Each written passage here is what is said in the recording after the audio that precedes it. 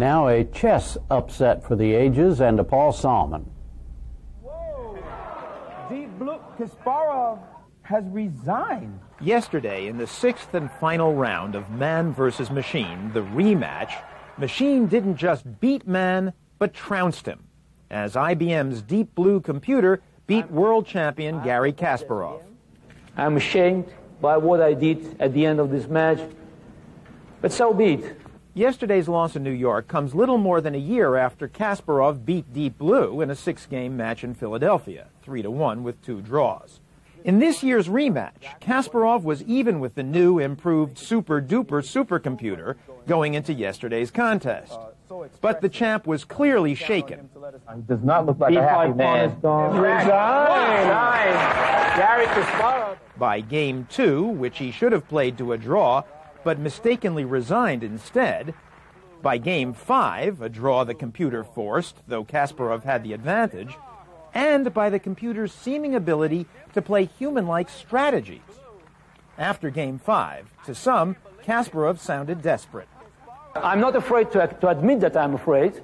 and I'm not even afraid to say why I'm afraid. because sometimes, you know, it, it definitely goes beyond any known chess program in the world. You know, it makes decisions that still cannot be made by any computer. And uh, facing such a challenge with no preparation, virtually no preparation before the match, I have to be extremely cautious. Sunday's showdown proved to be no contest. In fact, Kasparov made an early blunder that shocked experts. After just an hour of playing, instead of the usual four or so, Kasparov resigned the game and thus the match. At a post-game press conference, Kasparov sounded bitter and said another rematch would prove he could beat any machine. I think it's time for Deep Blue to start playing real chess.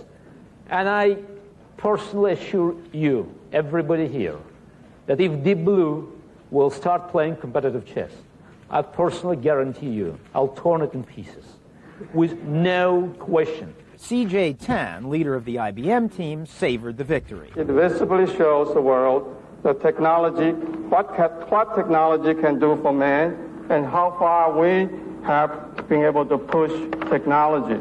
Kasparov says he wants a neutral party to sponsor a future contest.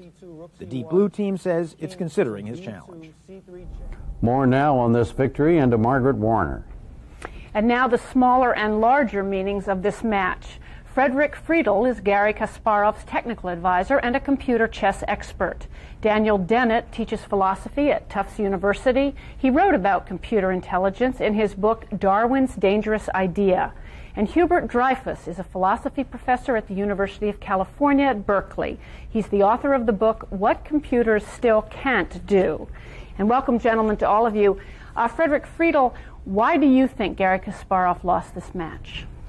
I think that he just didn't stand up to the pressure of the situation. The situation was very unusual for him. For 20 years, he's been playing chess against human beings in flesh and blood.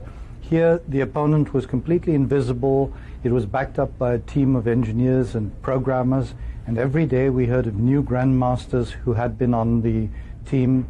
So, in some ways, he cracked in the end. Is that what he meant when he said, Well, I'm a human being, and when I see something that's well beyond my understanding, I'm afraid? What he meant was that there were certain phases of the game which he just didn't understand. We had most of it analyzed quite well game one, game three, game four, but game two, he didn't understand, and it played very heavily on his mind. And I think game two uh, lost the match for him. And that's the one where a lot of experts said afterwards he missed a move that, in fact, he he, he cracked too soon. He missed a move well, that he could have made. That was an additional thing that right in the end he resigned because he assumed a computer that's playing so well would have calculated everything and the game the game is lost. It looked very lost, and and 200 people in the auditorium and 20 grandmasters noticed nothing, and then at one o'clock in the morning or two o'clock in the morning, we discovered with a computer that it is a draw. He could have played on and drawn the, the game. Mm. Uh, Hubert Dreyfus, what do you think is the significance of this? There's been a lot of commentary about it. Newsweek magazine called it the brain's last stand. What do you see as the significance of this outcome? Well, I think I think that's a lot of hype that it's the brain's last stand. It's a significant achievement, all right, for the use of computers to rapidly calculate in a domain, and this is the important thing, completely separate from everyday human experience. It, it has no significance at all as far as the question will computers become intelligent like us in the world that we're in? The reason the computer could win at chess, and everybody knew that eventually computers would win at chess, is because chess is a completely isolated domain. It doesn't connect up with the rest of human life. Therefore, like arithmetic, it's completely formalizable. And you could, in principle, exhaust all the possibilities. And in that case, a fast enough computer can run through enough of these calculable possibilities to see a winning strategy or to see a move toward a winning strategy. But the way our everyday life is, that we don't have a formal world and we can't exhaust the possibilities and run through them. So what this shows is in a world in which calculation is possible, brute force, meaningless calculation, the computer will always beat people.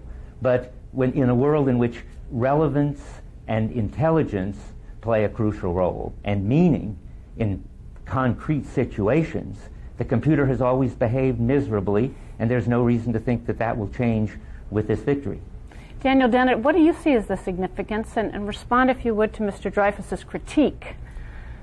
Certainly. Um, it seems to me that right now is uh, time for the uh, skeptics to start moving the goalposts, and I think Bert Dreyfus is doing just that.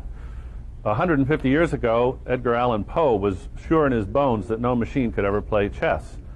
And only 30 years ago, so was Hubert Dreyfus, and he said so in the earlier edition of his book. Um, then he's changed his mind, and as he says, it's, it's, really no surprise. People in the computer world have known for a couple of decades that this, this day was going to happen, and now it's happened. Uh, I think that the idea that Professor Dreyfus has that there's something special about the informal world is, is an interesting idea, but we'll just have to wait and see. The idea that there's something special about human intuition that is not capturable in a computer program is, is a sort of illusion, I think. Uh, when people talk about intuition, it's just because they don't know how something's done. If we didn't know how Deep Blue uh, did what it did, uh, we'd be very impressed with its intuitive powers.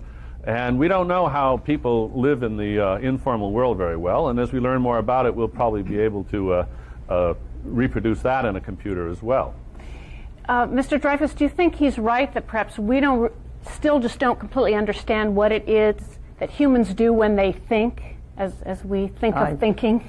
I think that we don't fully understand it in the sense that Dan Dennett and uh, people in the AI community mean by fully By AI, you mean artificial intelligence. Right. Yes. That is, we don't, we are not able to analyze it in terms of context-free features and rules for permuting these features.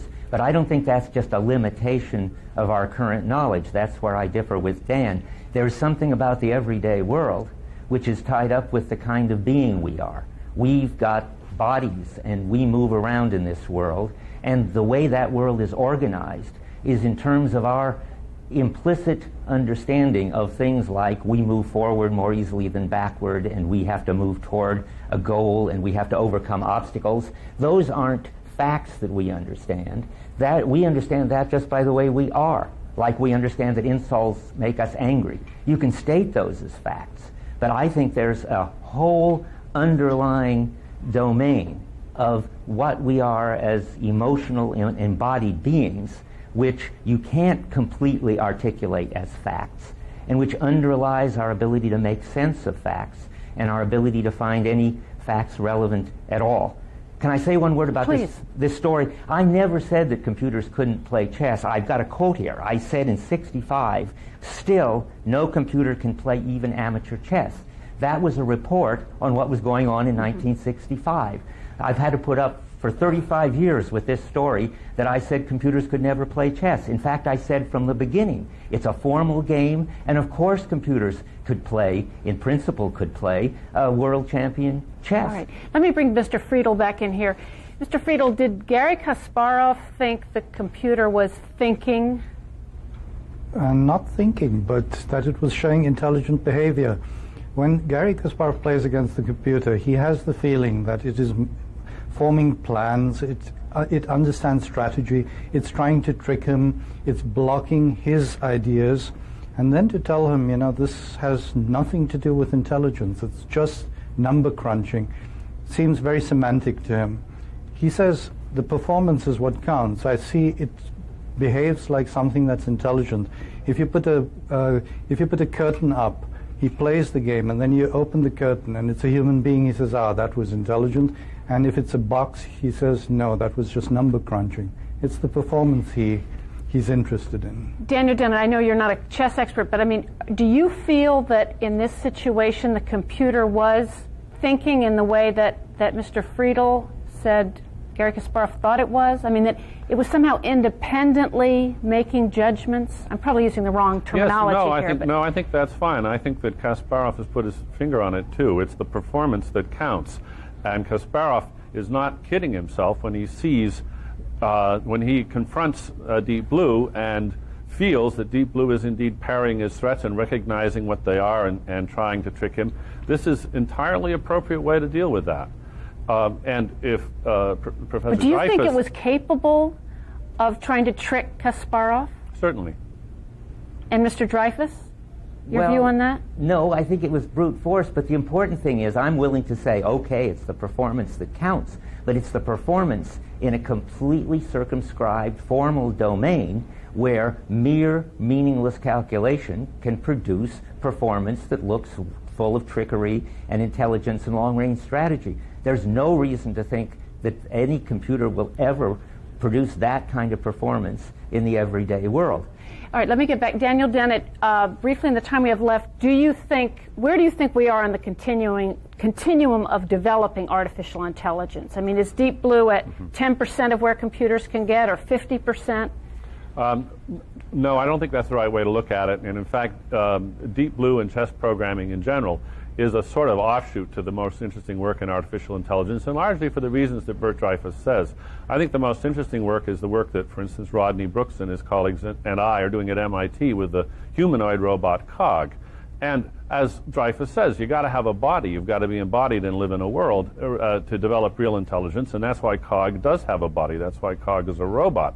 Now, if, if Bert will tell us what Cog can never do and promise in advance that he won't move the goalposts and he won't say, well, this wasn't done in the right style, so it doesn't count. Right. If he'll just give us a few tasks that are now and forever beyond the capacity of COG, then, then we'll have a All new right. test. We have just a few seconds. Uh, Mr. Dreyfus, give us two tasks it'll never be capable of. Okay. Very if, quickly. Okay, if COG is programmed as a symbolic rule using robot and not as a brain imitating robot, it won't be able to understand natural language.